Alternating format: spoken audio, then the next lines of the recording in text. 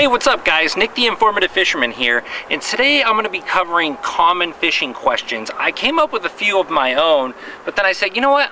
I'm going to go on my Facebook, ask some people, so I compiled some questions from there that I thought I could slip into here, and uh, other ones kind of fit under the full episode category, so we won't elaborate. The first question I had was how to find fish. It's a very generalized question. You could be a person looking to catch catfish or a person catching, looking to catch bass. I mean, it's completely different. First thing you need to know is the type of fish you're going after whether it's a scavenger being catfish, does it have whiskers, uh, are the eyes lower, is it designed for uh, scavenging and eating stuff, or is it a predator species, is their eyes on top of their head, will they chase lures, do they run down bait fish, These, this is the info you have to know. You could type in the type of fish you're looking for on Wikipedia, but if not, I'll tell you, pretty much anywhere in the world there's some sort of species of catfish. Uh, you can put bait down there, you can look up my brain rigging video, how to brain rig. If you click here on the bottom, it'll take you to a part of a video um, that shows how to do it with chicken livers and circle hooks in sticky thread. Really simple process, will pretty much catch you scavenger catfish anywhere in the world. Um, for predator species, here's the thing you have to know. Predator species follow the bait fish around. Um, in the spring, the bait fish are up near the bank. In the summer, the bait fish are out uh, deeper, so therefore those fish in the spring are going to be shallower that want to eat that bait fish. In the middle of the summer, they're going to be deeper or in and around heavy cover. Um, basically getting shade. The bait fish generally aren't out eating in the sun most of the time unless they're bluegills and they will. Um, from there, in the fall, the bait fish move back into the creeks, around the points, around creek mouths, and into flat, shallow areas once again. So in the fall, they're gonna be in that shallow area. Ooh, I just missed a fish over here. So that's where your bait fish is gonna be located. Let me see if I got this one right here real quick. Hold on one second, guys. So that's your bait fish intel. I'm out here drifting for uh, drifting for panfish at my house right now. So that's your little bait fish intel there for you. That's what you really want to know.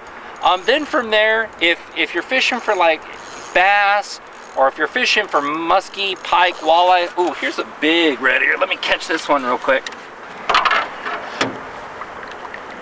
And there is a giant, giant red ear on film for you guys at the same time.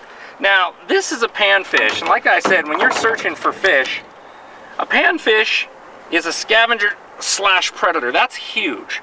That's an absolutely gigantic red ear right there. Wow, what a monster.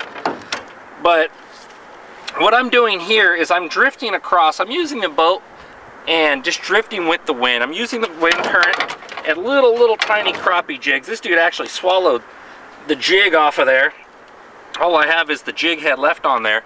Um, you know, but panfish like this, they eat little tiny grubs, little tiny worms, little tiny artificial plastics, um, you know, called grubs.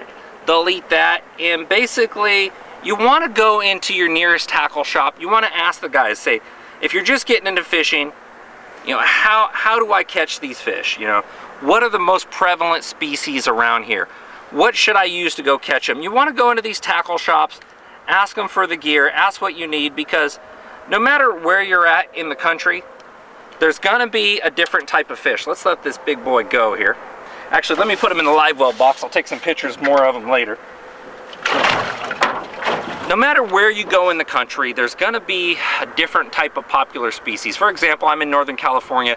People are like, Nick, do a video on walleye. I don't have walleye, unfortunately, so I can't do that yet until I travel to the Midwest or muskie. But if you go into a local tackle shop and ask them, say, what do I need? What's the most prevalent species around here? If you're looking to catch a lot, say, I have kids, I need to catch a lot, and they'll get you introduced to the species. But when you get out there, how to find fish, a lot of people don't have it in their mindset that an overcast day is good. When you're first starting out fishing, they're like, oh, let's go, let's go out here and fish a nice, beautiful sunny day. A beautiful sunny day, the light penetrates, um, it's generally not too windy if you think it's a beautiful sunny day. The fish are going to go down on the bottom, therefore it makes it harder to catch unless you're there in the morning or the evening. This is why a lot of people think morning and evening bite, great, great, great. It's, it's always good. Well, the problem is you tend to fish shallow. at that time, so you fish fast. So your bait's near the surface of the water column where those fish go in the morning or the evening in the middle of a sunny day. If you go on an overcast day like we are here, the fish could be spread all over the place. They're willing to run baits down further. So that's a way to find fish. Go on an overcast day and you will find that they are more active fish that way. Um, also, when you get out there and it's windy, most people try to hide from the wind if you go to the spot where the wind's blowing, it's blowing microscopic bait, zooplankton, phytoplankton, it's blowing it all in there. Zooplankton are microorganisms that eat phytoplankton, which is just algae.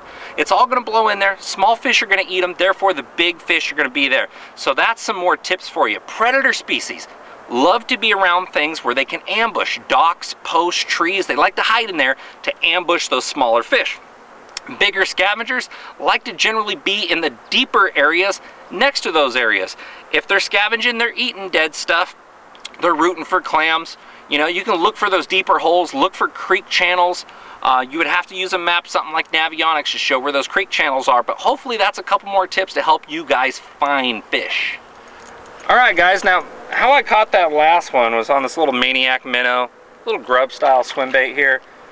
This one's not nearly as big, but another nice one. And I got this guy on a little uh, gulp worm here. These are all on 164th ounce jig heads. I use the 164th ounce a lot of the time when I'm pan fishing because it's so light. You know, it just drifts over the grass, no problem. Another nice red ear. They, they just drift over the grass, no problem. They don't really get hung down in the grass. So when you're drifting, they work substantially well if you have an area with lots of grass. So in case you're wondering about that last one, that wasn't one of the questions, but there's another fish for you.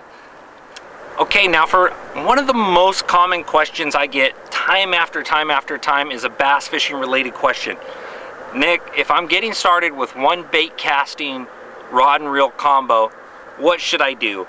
And when I hear one rod, one reel, in bass fishing, you know, we have so many different techniques and so many different lures and specialized type of things that require a special rod. Um, eventually you're going to want to get a bunch of rod and reels, but if I had to pick just one, it would be anywhere from seven foot to seven foot six. I would say if you're on the taller side, like above six foot, I would go with like a seven foot six rod. Uh, if you're below that, I would go with like a seven foot rod. It's just gonna be a little easier for you guys to handle in a fast action, in a medium heavy power class. Um, you'll see that the rod can handle, you know, 12 or 10 to like 20 pound line on there. It'll show you on the rod, you know, just above where the handle connects. Um, a fast action rod rod's a rod that's going to bend up near the tip. It's not an extra fast where it's right in the very tip tip. It's a rod that's going to allow you the versatility to throw crankbaits, spinner baits, worms, and a medium heavy power is going to allow you to throw some of the lighter stuff and some of the heavier stuff. You're, you're aiming for the majority with this one rod and reel. Um, from there, the reel that you want is a minimal six speed reel and you're gonna see uh, six to one to one or six three to one and all the six is, or the five is, or the seven is, or the eight is, is one rotation of the handles, how many times your spool is going to rotate. Therefore, you're going to pick up line faster with that higher number. A five would be slower, a six would be medium, a seven would be faster from there. I honestly suggest nowadays starting off with a seven speed reel, a seven to one or a seven three to one. It doesn't matter. Those are minuscule numbers in the overall sense of things. The downside is if you're using a lure with a lot of resistance, like a crankbait pulling and resisting, you're gonna feel a lot of pressure because you're on a fast reel. Just tell yourself to slow down at that point if you feel a lot of extra tension. But a seven speed reel, a medium heavy, seven foot to seven foot six, depending on your overall height, that's gonna help you with your pitching, your roll casting, your overhand casting. Um, from there, a versatile line.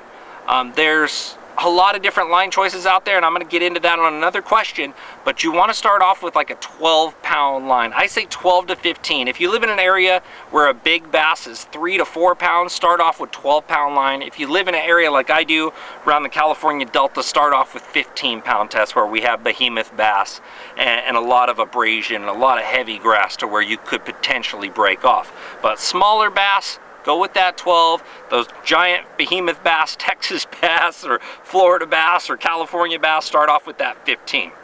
The line I'm going to suggest is a copolymer line called P-Line CXX. It's a high abrasion, extra strength line.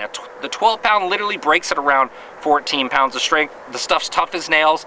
Uh, it's affordable. You really can't go wrong there getting started. So that's a good combo for you guys to get it off with. Hang with us, guys. We'll be right back.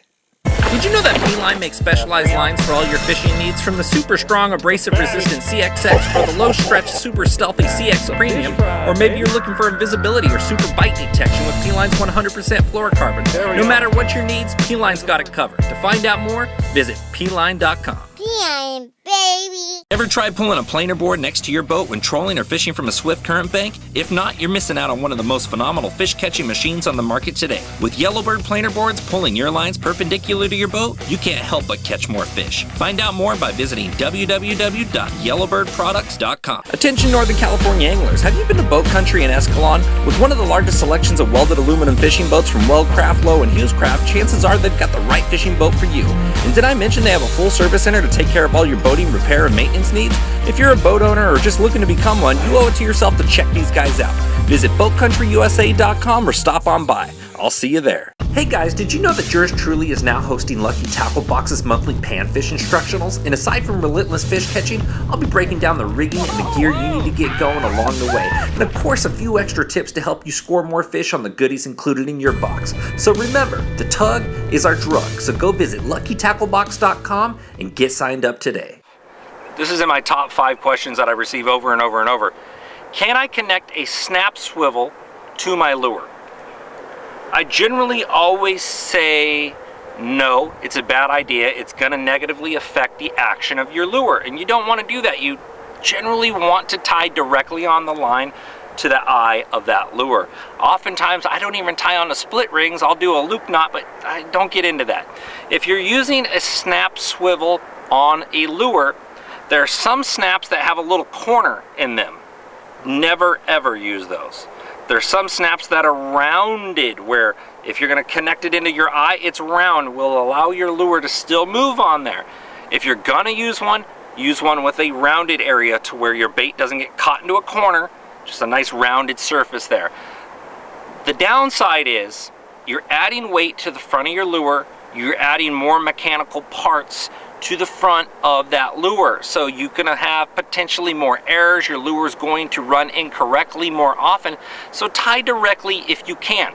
If you have a big lure and a small snap swivel, not bad at all. Big lure's got such a strong action, you probably won't affect it negatively. Smaller lures, never ever use snap swivels. Never ever on small lures. Unless they're way up your leader and you're tying still a line on here, don't connect it directly on a small lure. It's gonna mess you up, I promise you. Another one I commonly get is, I'm not getting any bites. What, what do I do if I'm not getting any bites? you know, it sounds funny and I think it's funny, trust me. Uh, I've been there myself, okay? If you're not getting any bites, you, you either are out on a very bad day, but I tell people, don't focus on, on don't focus in on being a bad day. Oh, it's just it's just bad out here. There's always a way to get a, a couple fish, you know, whether they're small fish or big fish, there's always a way to get a bite. If you keep it in your mind that there's always a way to catch them, you'll constantly learn. And let me explain something to you. If you say they're just not biting today, what have you done? You've given up okay? If you're really into angling and you want to get into fishing, you want to learn how to catch them, that does absolutely nothing for you don't give up, and I'm sure you've heard that before, don't give up in fishing. And it's honest to God truth. I have been out fishing seven hours and I dedicated myself for eight hours and I'm like, man, it's getting frustrating. I'm doing everything I can. And then all of a sudden, I placed the bait in a particular spot, retrieved it a certain way, and bam, I caught one. And I said, whoa, dad, check this out. I just got a good one doing this. And I go, okay, well, I repeat it, go a little bit down the bank, and uh, here's the same scenario. I do it again, and bam, I catch another one. And it was that clue, and yeah, maybe I only caught two fish that day, but it only took two casts, and yes, I may have been mind-blown the whole rest of the day, but if I don't try different things, you don't try different lures, don't try retrieving things differently. Don't try different areas of the lake. Fish docks, fish deep stuff, fish rocks, fish everything you can with every lure in your tackle box. Slow, fast. If you're not continuously trying, you might as well just stop. Fishing can be very frustrating if you don't think they're biting. Don't ever tell yourself that. Some days they bite better than others. Sure. Prefrontal days they bite great. Uh, post-frontal, not as great. I would expect 10 times as many bites pre-frontal. If the storm's coming the day before the storm, I would expect a lot of bites. Uh, day after the storm, I wouldn't expect as many bites. So if you keep that in your mind, you know, only expect to get a few. Say, I'm gonna go out there, I'm gonna focus, give it everything I got, and if I get a few, I'm gonna be real happy.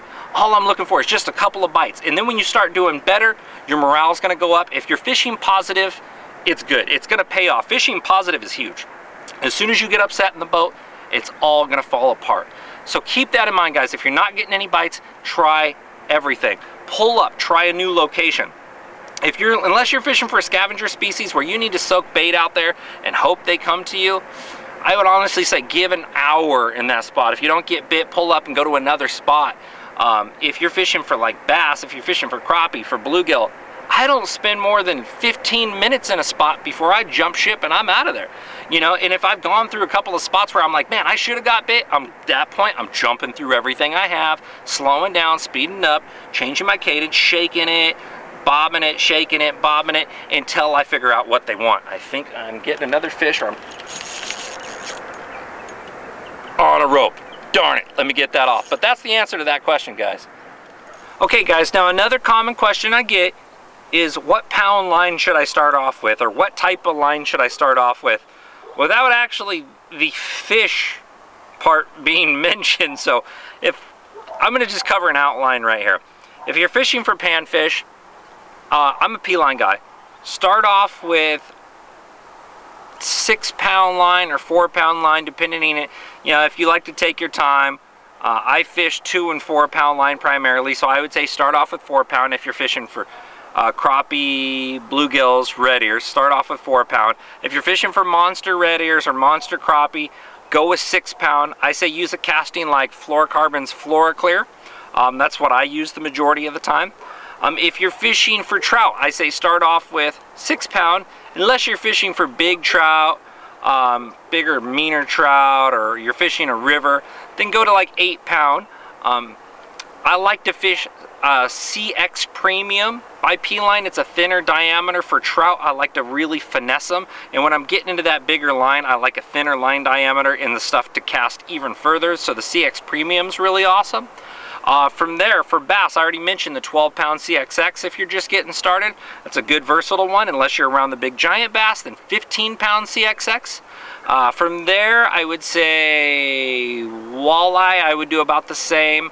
Uh, muskie, I'm probably fishing like the same type of stuff I would, oh, just missed one.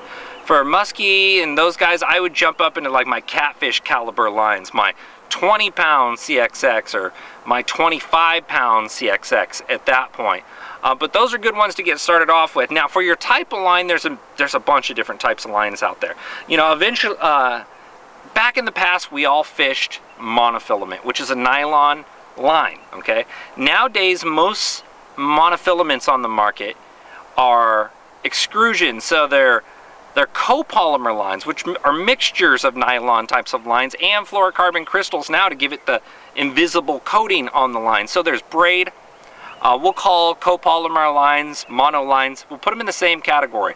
Um, so just get used to that terminology. When I say copolymer, think of a floating line, a more affordable line, and a more versatile type of line. There's multiple different types, low stretch, extra stretch, thin, invisible types. Copolymer fits a lot of that category. Uh, fluorocarbon is an invisible line with super, super low stretch. It's a dense line it gets you extra bites. It's very sensitive. It's a lot harder to work with than copolymer line and it's a little bit more pricey.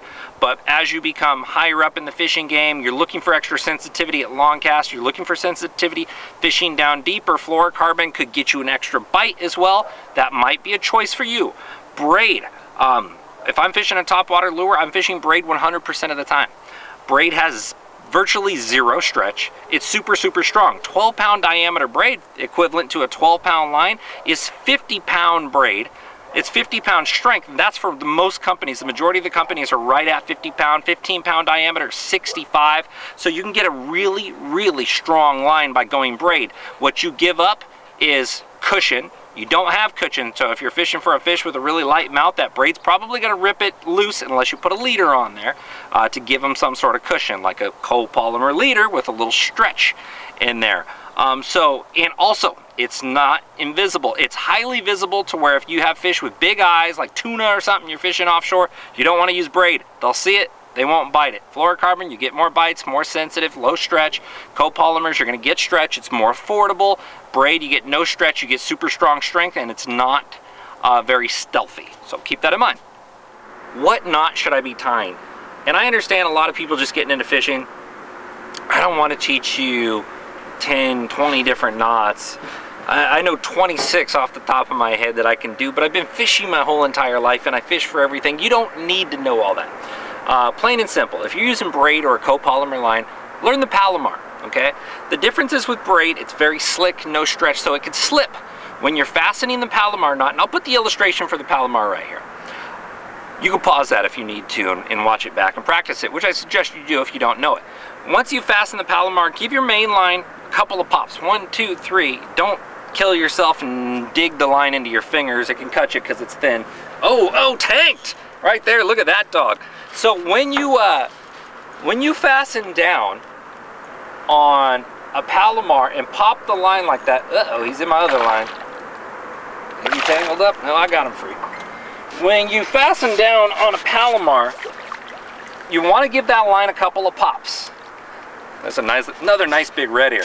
If you give the line a couple of pops, it's gonna help it from, it's gonna prevent it from slipping out. Because if you fasten it and you don't pop it, potentially there could be a little bit of gap in your line. And once the fish grabs it and runs, you may have not fastened it down all the way. So those pops are really gonna help you out. So give it those pops and leave your tag end. Your tag end is that extra leftover piece that you're gonna cut off leave it instead of like super, super small, leave almost up to a quarter of an inch. Oftentimes it doesn't matter. If you're using braid anyways, it's visible. Uh, leaving a quarter inch tag in is gonna help that line and that knot from pulling out on you. So keep that in mind when you're doing it. Uh, the knot you wanna use for copolymer and braid is, is that, uh, geez, I'm just getting lit up over here, is that Palomar knot. My goodness, I cannot keep these fish off.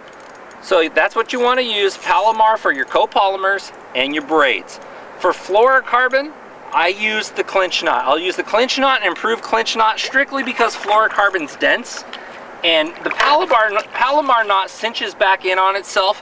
There's gonna, wow, another giant. There's gonna be some people who are gonna argue with me that, wow, popped right out of his mouth.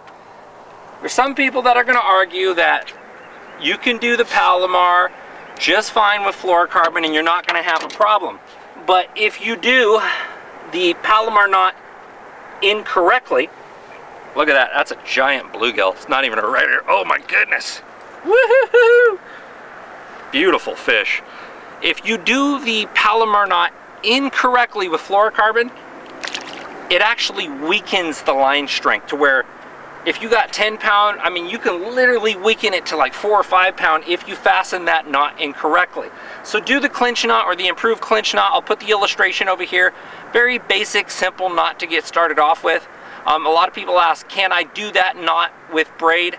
Yes, you can. Leave the longer tag in and pop it. I just got hit over here again, but hopefully those knot tips really help you guys out. Hang with us, guys. We'll be right back.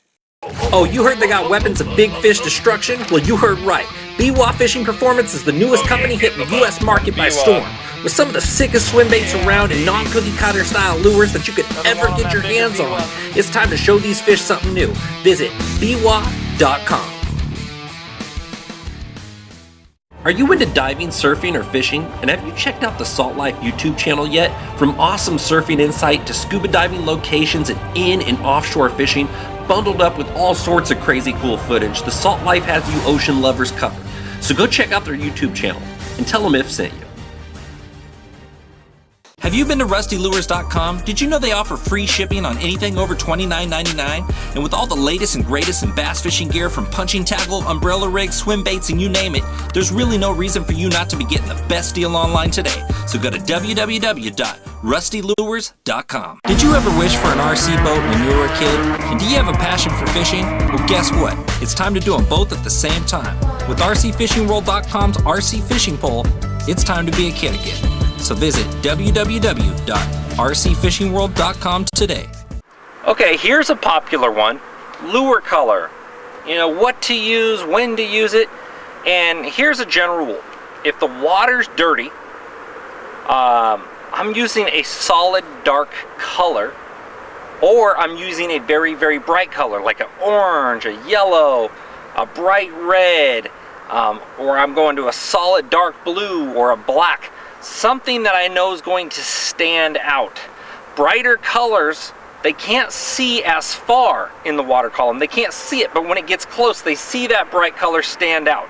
Uh, for example, the lighter colors, like red, underwater bass, I mean fish in general, can only see red from roughly 10 to 15 feet away that the color red shows up. Otherwise, it's like a neutral gray, but a lot of the time that color whoop, appears to them at the last second.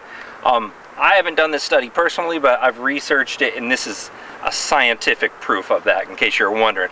Uh, the darker colors, your dark blues, your dark greens, your blacks, they stand out and show a perfect silhouette from a further distance. Or if you're trying to draw that fish, or if you're trolling and that water's dirty, go with a darker solid color. Or if you see them on your graph and you want to come right through the middle of them, use a brighter color. It might pop and it might appear and it might trigger those fish into striking at that moment. if the water is clear.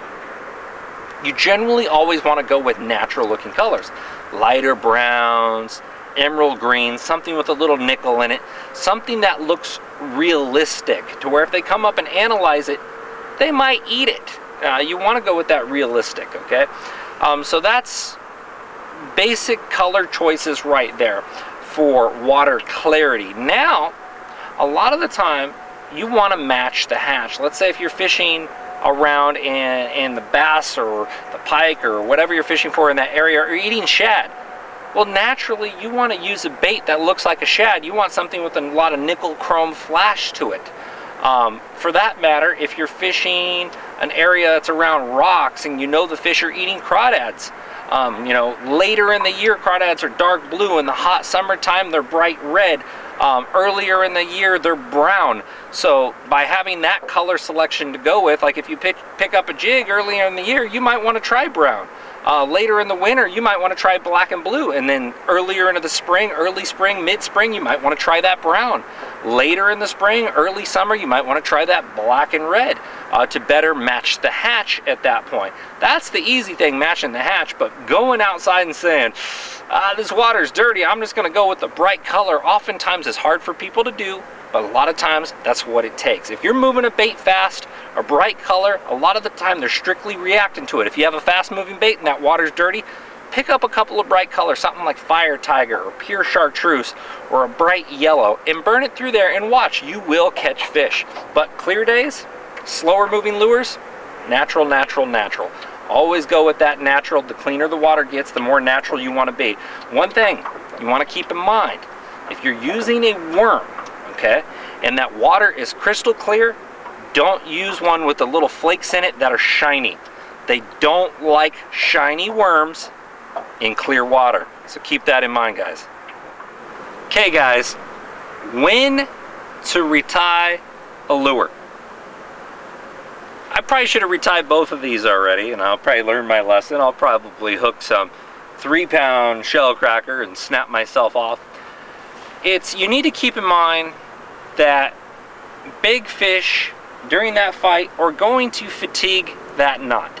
So basically I caught a couple fish on each of these already. Uh, one of them's two pound, the other's four pound line. So the knots are fatigued, okay? I've been putting my drag real light, so I'm not too worried about it. If you find yourself hanging up and like popping your line free of things and a lot of tension developing, I tell people keep a general rule of practicing. If you're fishing the same lure all day, tell yourself you're going to cut it off at least five to six times and you're going to retie it back on throughout that day. If you tell yourself you're going to do that, You're naturally going to get into the rhythm of doing that and it's going to protect you when it comes time to hook a big fish or you manage to hook one and you're like, you know what, I retied 20 minutes ago. I got a strong knot. You boat flipped that big fish. Hey, nothing bad happened. You're fishing around docks, you're fishing around rocks, that line is fatiguing down and around that knot. You're ramming it into things.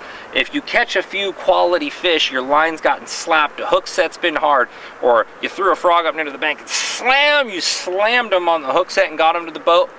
Anytime you catch a big quality fish, cut off, retie. Anytime you find yourself hung in rocks and you pop it out, even though you check the line for abrasion, cut it off and retie. It's going to end up saving you a big fish, trust me. When to use smaller baits. And I'm assuming that they meant, let's say I'm fishing uh, a big old crankbait, and now I'm going to drop down to a tiny worm or a tiny jerk bait. When to fish smaller baits? Well, if you're fishing a big bait and you're not getting bit, you're fishing a big bait, you're generally searching for larger fish, therefore the numbers are fewer. Uh, there's always going to be a lot more smaller fish of the particular species you're fishing for, so your bite ratio will increase if you switch to a smaller lure because you're fishing for a higher quantity of fish, a bigger volume of fish. The bigger lure you have, you're fishing for a bigger fish, but you're catching less. But let's say when to switch, and that's not the real answer for when to switch. When to switch is when plain and simple you can't get bit. Or you notice there's fish activity, a lot of fish activity around you, and, and you're fishing a particular lure, and that fish is, uh, you know, it, it's a big fish that you see blasting on that bait, and you're like, well, how come I'm not getting bit? Well, maybe the forage that they're they're blasting on is, you know, a minnow that's this big or a shad that's this big. You know, a lot of the time if you can't catch that bait or analyze it, start assuming that maybe it's a shad, maybe it's smaller, and then to start jumping through smaller baits at that point. That can help you get on them. I recently did a last episode, um, casting tips and fall delta tricks. I'll put the link right here at the bottom. If you check that out, that scenario actually applies. I was fishing bigger baits, but I do a trick when the stripers trap the shad up against the banks. The shad in my area are generally about this big. I'll look at them from time to time. I'll see when fish spit them up in my live well and look at the size of the shad. Well, I had to pull out a tiny, tiny jerk bait to match up to the right size bait. Once I did that, I had no problem at all smashing the bass. But my bigger jerk bait, they wanted nothing to do with. So a lot of the time, when to switch to a smaller bait is where maybe you actively see fish feeding on smaller bait or you're just not getting the right bites. If you're looking to get quantity over quality, dropping down always helps. Man, they keep smacking that. Boy, I'm gonna whip out this marker float I got over here somewhere. Where'd you go on me? Oh, it's over there. Hold on, guys. Yeah. Marker float to the rescue. Well, let's hope I don't tangle any of my lines with that.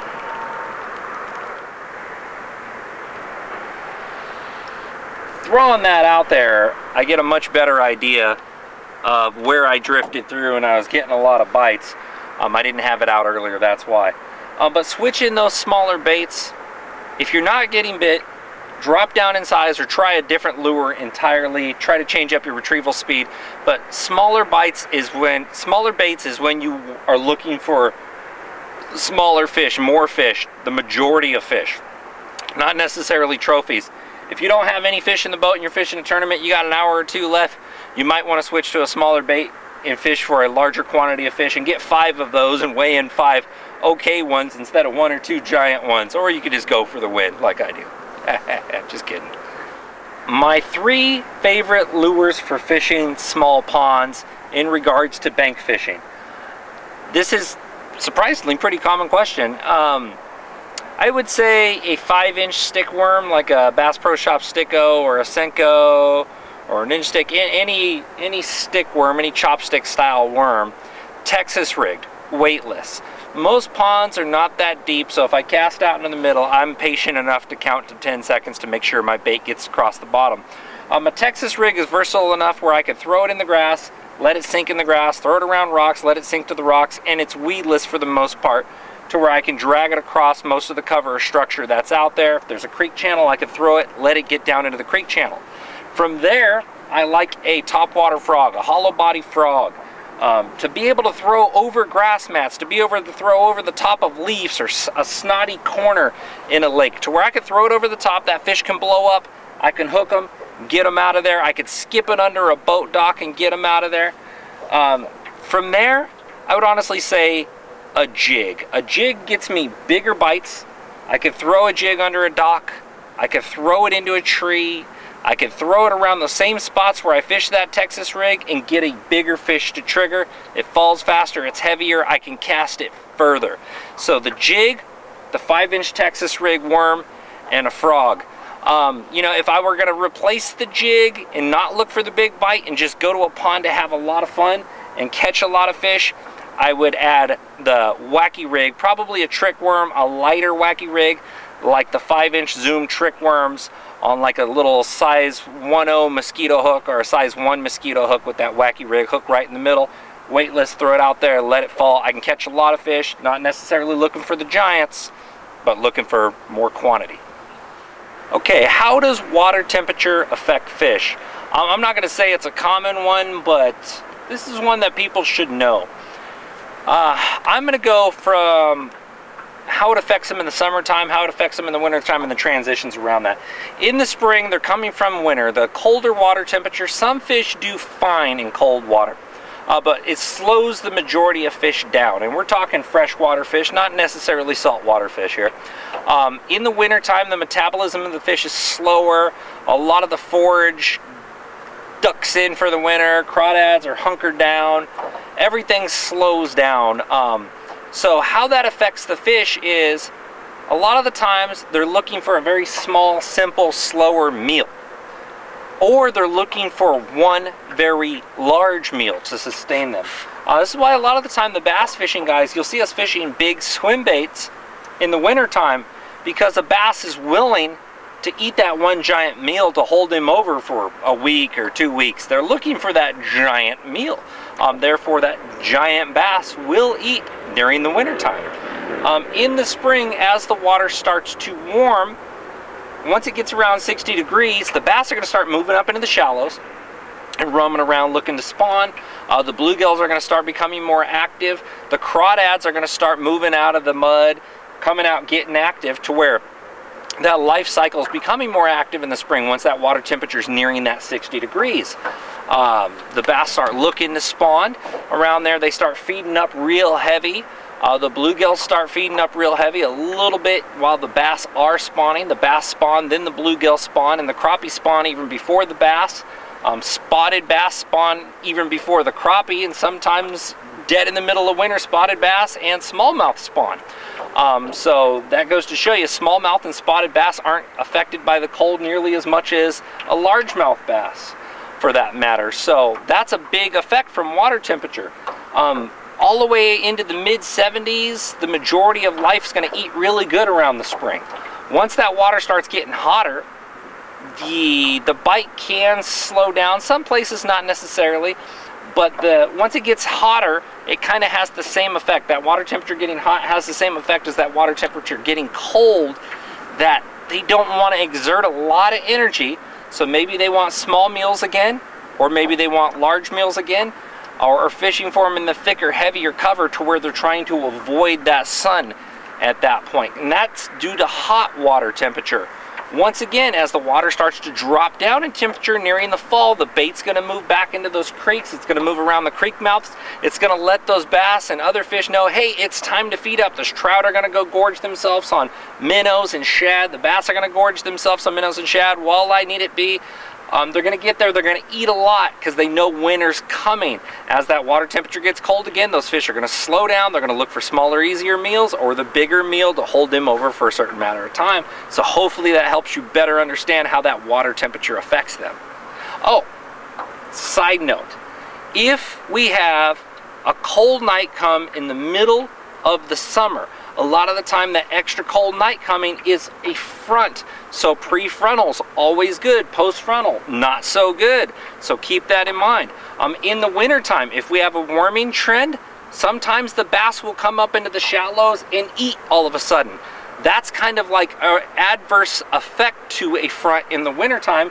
We have like a warming front to where the bass will move up and become active at that time to where if you see we have a hot day on the schedule go on that hot day in the wintertime and you can get those fish actively feeding on that particular day because it's going to warm the water up by a few degrees focus on rock concrete areas gravel shallow areas at that time where that water temperature is going to jump you know four to ten degrees possibly during that warming trend and you can catch active fish even in those cold times of year what is a thermocline? It's funny, you know, when, when guys are in the beginning stages of fishing, they could care less about what a thermocline is.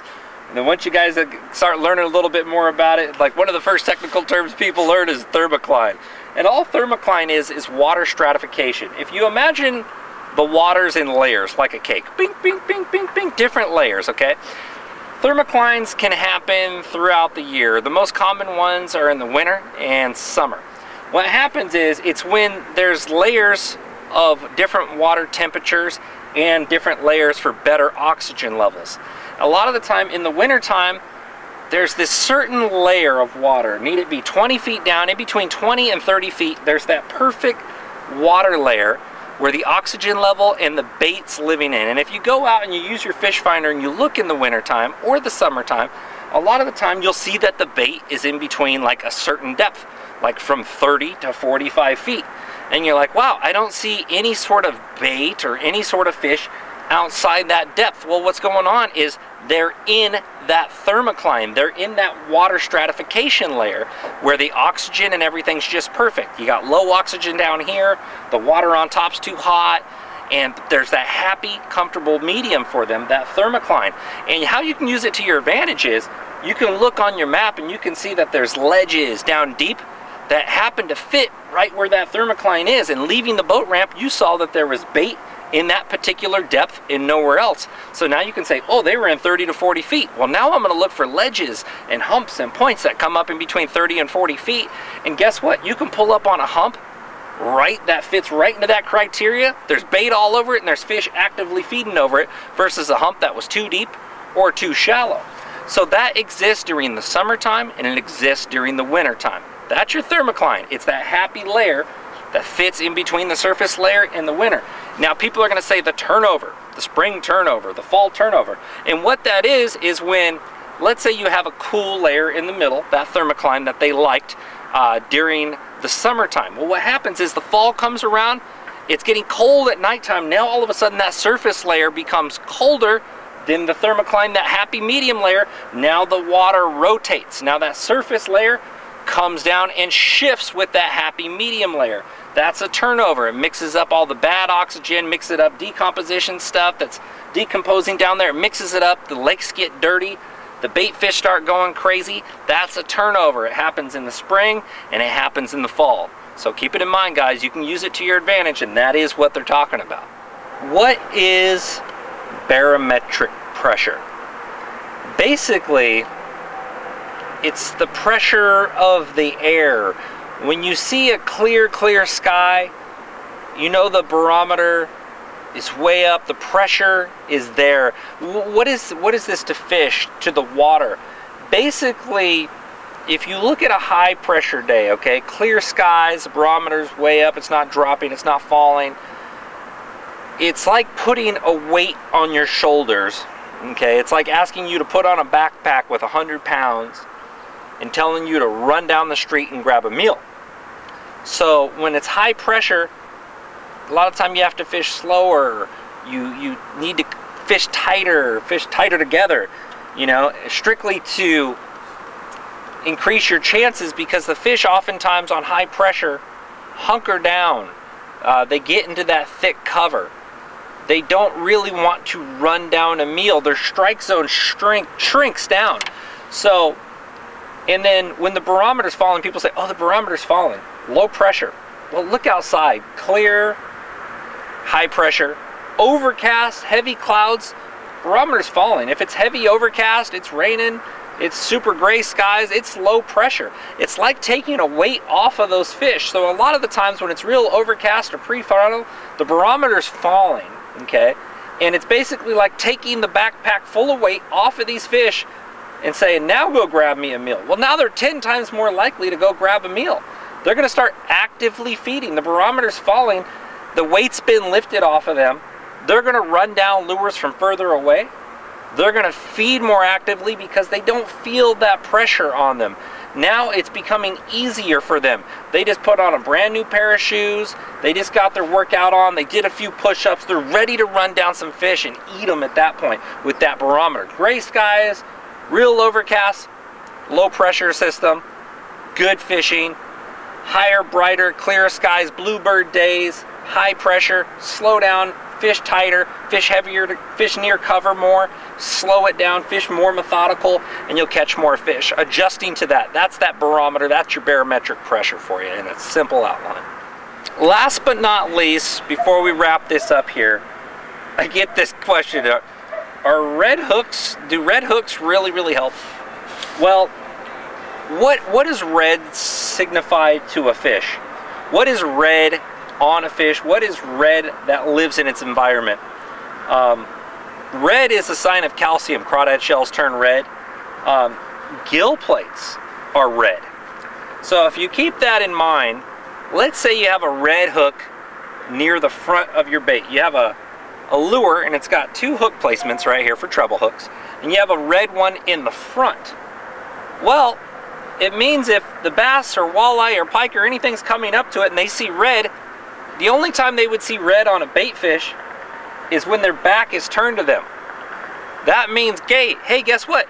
We got a good opportunity to ambush this fish because he's not looking at us. We're coming up from behind. We see red. Um, some people say blood. I don't think so. How many fish do you see swimming around bleeding on a regular basis? They don't. You see gill plates, those are red. Crawdads are red. Um, maybe some fish have red in them. I don't see that very often. But what it signifies is gill plates. More often than not, I think it means gill plates. So if you put a red hook on the back, you're getting them to strike at the back of your lure, potentially miss. If you have the option to put red, put it near the head of your bait. Seriously, put it near the front of your bait so they will strike the meat in potatoes and not miss. If you're gonna do a red hook, put it on the front of your bait. That's all you need to do hopefully you guys appreciated this film. Um, I had fun making it out here, drifting, uh, just catching panfish, talking to you guys about this stuff. Uh, check out informativefisherman.com. Visit my Facebook, Informative Fisherman, Informative Fisherman, my Instagram, my uh, Twitter. I don't really use, but I'm doing Periscope videos now at Info Fisherman. So hit me up on there, guys. Write me some more questions. Maybe I'll do another one of these episodes later on in life. I'm going to be doing this for a long, long time. I'm not leaving you guys stranded. I promise you that. More awesome fishing episodes coming up where we're out with pros, but greatly appreciate you guys watching. We'll see you next time.